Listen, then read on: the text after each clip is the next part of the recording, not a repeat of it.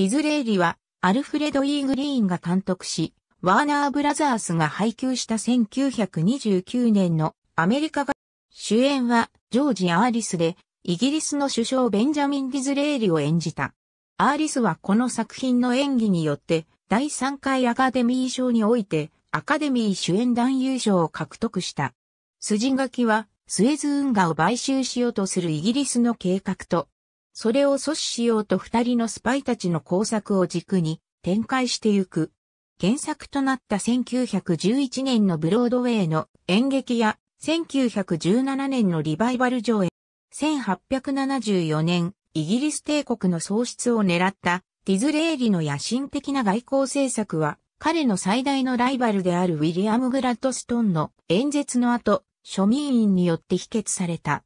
その後、ディズレーリは、浪費家であるかディーブが資金を必要としており、スエズ運河を支配する株式を売却する意向がある、という嬉しい知らせを受け取る。運河の買収は、インド支配を保障することにもつながる策であったが、イングランド銀行総裁マイケル・プロバートはディズレーリに対して、そのような計画には断固反対であると明言される。ディズレーリは有力なユダヤ人銀行家のヒューマイヤーズを呼び寄せる。一方、チャールズ・ディフォード卿は、レディ・クラリッサ・ピーベンシーに求婚する。彼女は彼を愛しているが、結婚の申し出は断ってしまう。彼には富があり、社会的地位も高く、それを楽しんで満足しているが、彼女が夫に求めるような野心には欠けていた。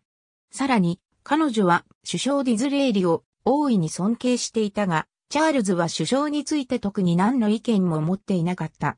ディズレーリは、この青年の将来を思い、クラリッサを幸せにしたいと考え、自分のために働くようチャールズを説得し、運河の買収計画を話す。しかし、ディズレーリはチャールズに、スパ、インドへの進出を狙っていたロシア帝国は、ディズレーリを監視するために、二人のスパイを送っていた。最上流の社交界にも出入りできたトラバース夫人とホルジャンベ氏である。ディズレーリはこれを見抜いた上で相手を欺くためフォルジャンベを公設個人秘書に雇い入れた。フォルジャンベはチャールズにマイヤーズが運河買収の資金を提供するのかと尋ね、チャールズは何も言わなかったが、その態度から答えは明らかで、ホルジャンベは正しく察した。トラバース夫人は出国して本国に警告するようフォルジャンベに指示する。ディズレイリは、ほどなくして事態を把握する。直ちにカディーブに死者を送ることを決めたディズレイリに、クラリッサはチャールズを派遣することを進める。チャールズは株式の代金としてマイヤーズの小切手を受け取るようカディーブを説得し、クラリッサに自分の進化を証明する。ディズレイリは知らせを受けて喜ぶ。しかし、マイヤーズがやってきて、彼の銀行業務が破壊工作によって破産の危機に向かっていることを告げる。小切手は無価値になる。ディズレーリはマイヤーズに状況を今しばらく秘匿するよう告げる。トラバース夫人が様子を探りにやってくるが、ディズレーリが彼女に買収の件を知らせると、彼女は勝ち誇ったように自分がマイヤーズへの破壊工作で有用な役割を担っていることを認める。ディズレイリは、プロバートを呼び寄せることを即断する。プロバートは最初は、支援を断るが、ディズレイリは、議会を動かして銀行への特許を取り消させるぞと、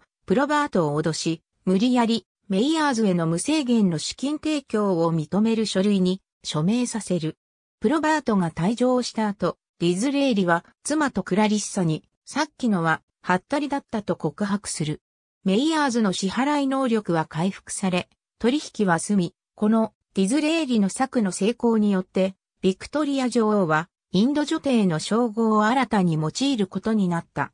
この作品よりも前の1929年に本作同様、アーリスが主演した映画緑の女神が完成していたが、アーリスが自分にとってのトーキー映画デビュー作品としては、本作、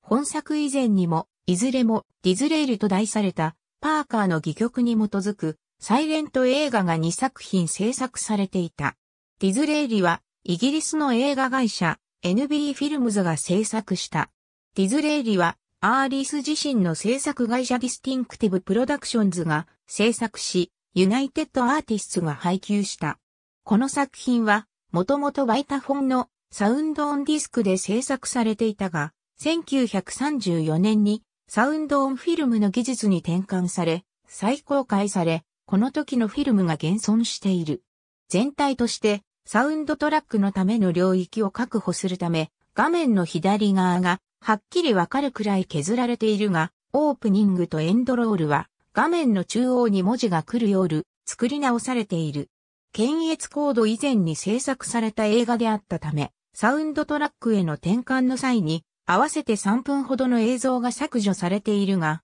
この部分は失われて現存しないものと考えられている。この映画は第3回アカデミー賞で3部門にノミネートされた。この作品には1929年にフォートプラ氏から栄誉賞が授与された。ありがとうございます。